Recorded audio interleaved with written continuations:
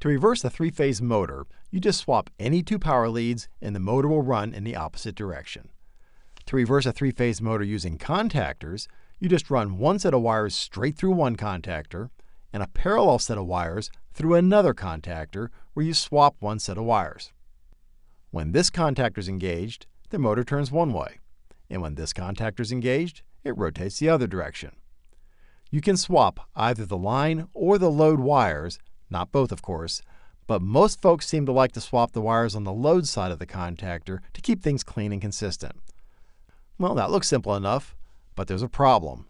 What happens if you accidentally engage both contactors? Well, now you're shorting out two of the three phases of your power system, and that usually makes bad things happen. The way you prevent that is to add interlocks.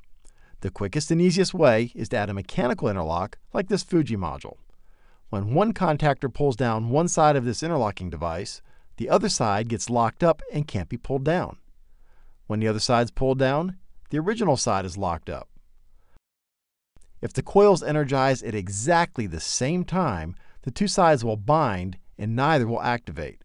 But the odds of that happening are slim because usually one slips ahead of the other. To install this mechanical interlock, you just insert it between the two contactors.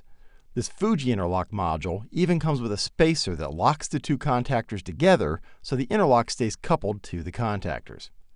Now, when one contactor engages, the mechanical interlock prevents the other contactor from moving. And when the other one's engaged, the original contactor can't move. Perfect.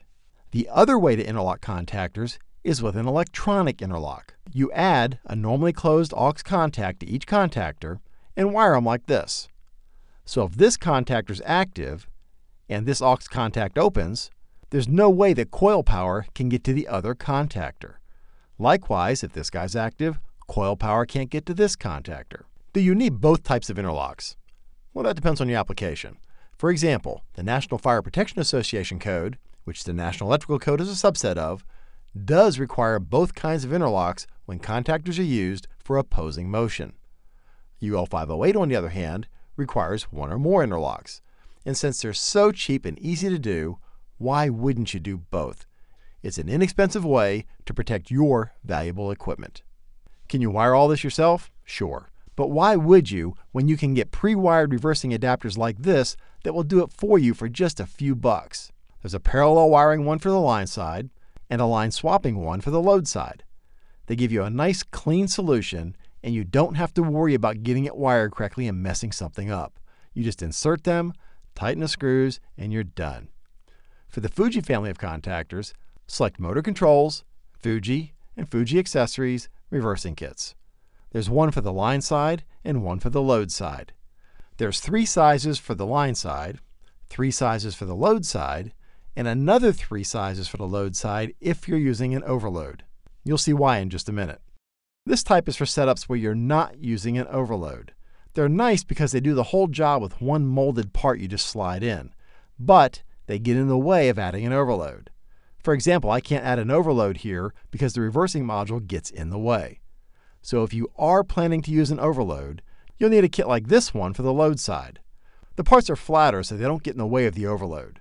Notice how the middle one sits above the other two and that these mount in the lower holes so the overload can mount in the upper slots.